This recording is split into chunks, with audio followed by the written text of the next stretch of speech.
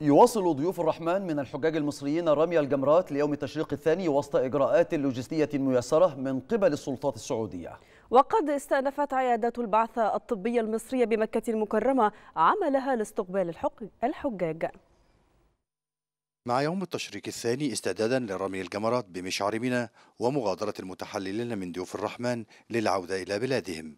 تواصل البعثة الطبية المصرية عملها بمخيمات الحجاج المصريين لتقديم الخدمات الطبية العاجلة لهم وصرف العلاج بل ورصد الحالات التي يتم دخولها بالمستشفيات أولا بأول. من بعد رمي الجمرات إن شاء الله بعد الظهر. إن شاء الله فريق إعداد كل فريق هيطلع على العياده بتاعته. وإن شاء الله هيتم تشغيل العيادات في جميع الفنادق اللي كانت شغالة قبل كده من الساعة 5 إن شاء الله بكرة عصرا. النبطشات بتاعتها المعتادة على مدار ال 24 ساعة. بعد كده الفريق الوقائي النهارده كمان هو قام بالمرور على المخيمات اللي فيها أماكن تواجد الحجاج.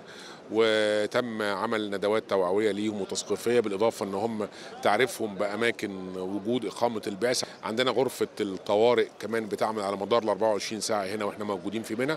وإحنا في خلال في منى النهارده وإمبارح تم توقيع الكشف الطبي ترد علينا في العيادات حوالي ما يقرب من 162 حالة ترددوا علينا لحد دلوقتي.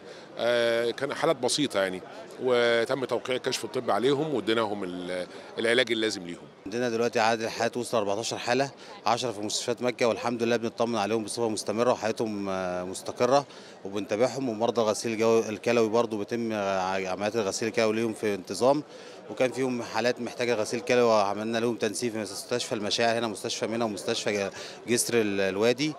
وفي عندنا حالتين محجوزين في مستشفيتين هنا في عرفات وفي عندنا حالتين موجودين في مستشفى منى للطوارئ ومستشفى منى الجسر الحالات كلها عبارة عن حالات بسيطة ما بين صدمة حرارية ما بين ارتفاع بالسكر ما بين اشتباه جلطة بالمخ نتيجة الاجهاد الحراري ونتيجة المجهود.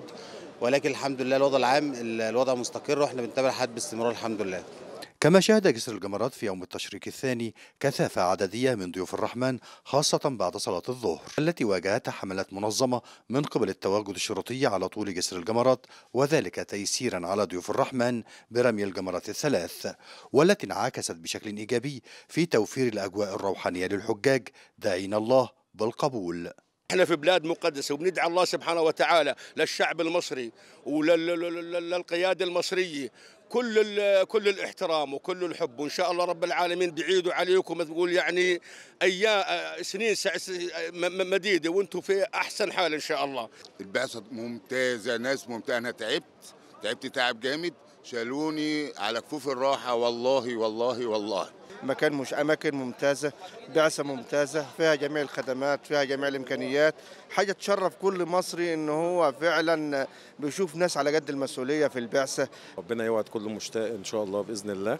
حاجة جميلة وحاجة مشرفة بالنسبة للسلطات المصرية وإحنا طالعين تبع بعثة الحج تبع الداخلية والبعثة الطبية كمان بتاعت وزارة الصحة. حاجة كويسة وحاجة مشرفة. رغم مشقة الرحلة المقدسة إلا أن ضيوف الرحمن خاصة المتعجلين منهم في يوم التشريق الثاني. انتابتهم فرحة غامرة بأداء الفريضة. فالأجر على قدر المشقة من أمام جسر الجمرات محمد حلمي التلفزيون المصري.